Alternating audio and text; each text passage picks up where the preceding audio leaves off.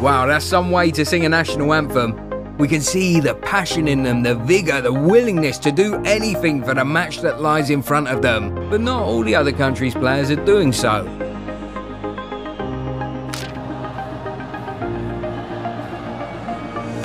Why Italy? Is it because they're from Italy? That could play to be one of the reasons, but it's not just that. In fact, it's not the reason at all. There's only one reason, and it's the national anthem of Italy. I mean, we all love our national anthem, we love singing it and respect it. But we don't end up doing this during our national anthem, do we? Like most of the great national anthems, Italy's was written in the shadow of war. It was written in 1847 during the first battles of the Italian unification.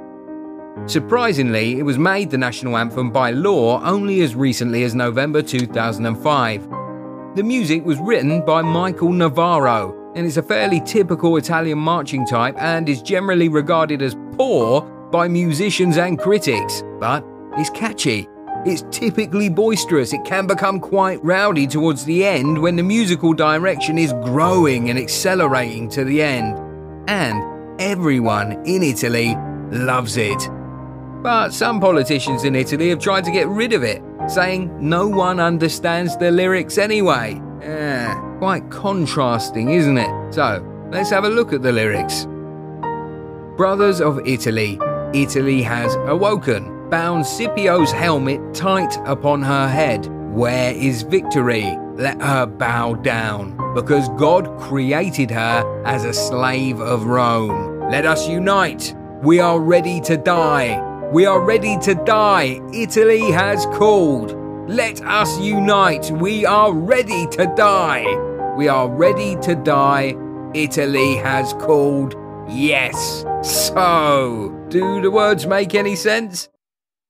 Some of the lyrics relate to some fairly obscure episodes of Italian history which don't have much meaning in the modern world, but overall, this is a simple battle cry. Made dramatic by obscure references and rambunctious music, Italy is ready to go to war to become free, and will be as victorious as Rome was in ancient times. But no one really cares about the exact meaning of the words. It's a rousing song, and despite some mutterings among politicians, it's hard to see anyone allowing it to be replaced. And for us, we love seeing these players enjoying this song before their match. Obviously, they do enjoy it as they literally cry, saying they're ready to die for the match ahead of them. They could relate to the war, which is the football match ahead of them.